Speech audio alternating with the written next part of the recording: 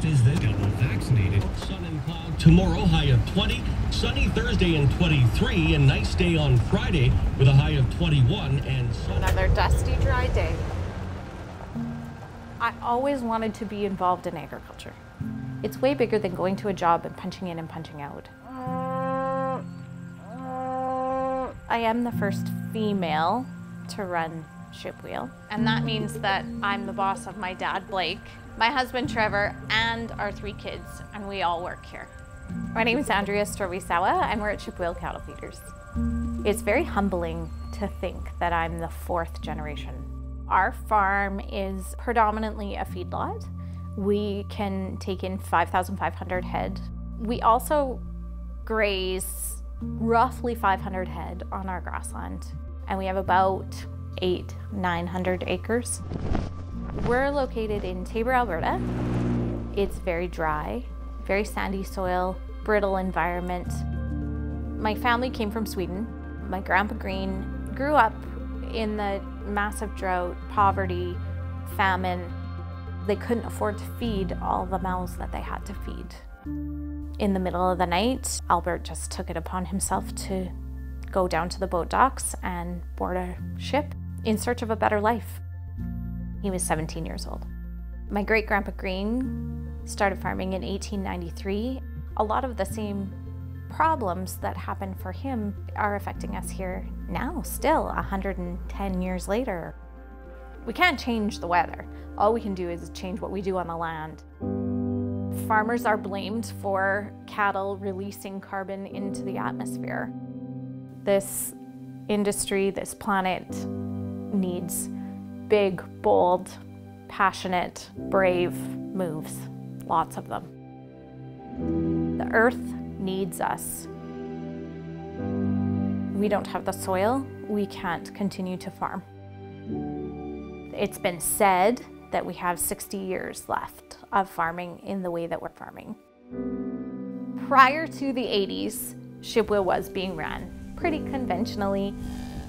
Typical grazing would be continuous grazing.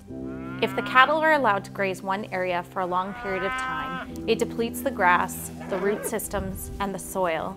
This is how we do it, and this is how it's always been done. We were not using our land to the fullest.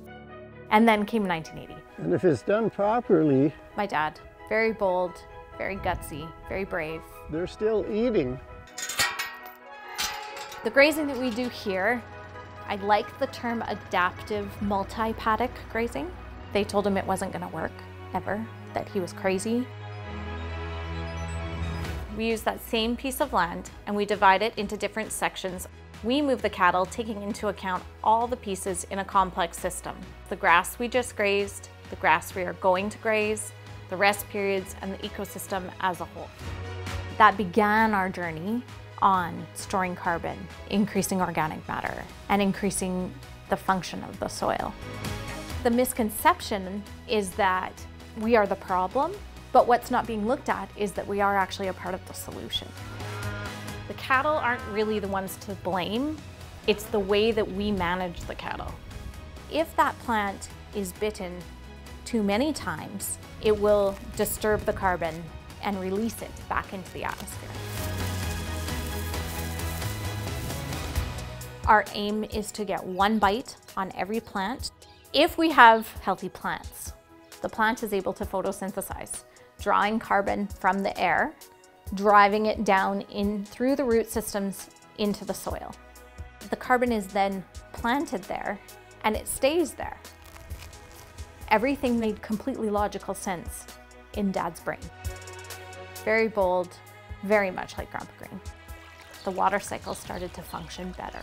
The wildlife started to come back.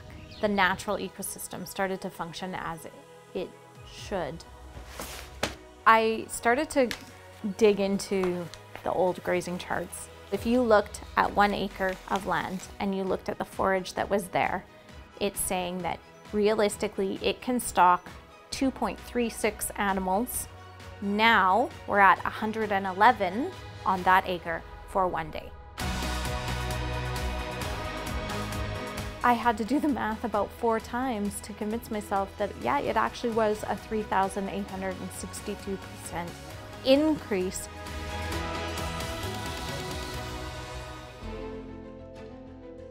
We are on the brink of doing some pretty amazing things in agriculture. I feel an immense responsibility. I have to push past where we are and do more, do better for the planet, for Grandpa Green, for Grandpa Holtman, for my dad, for my children.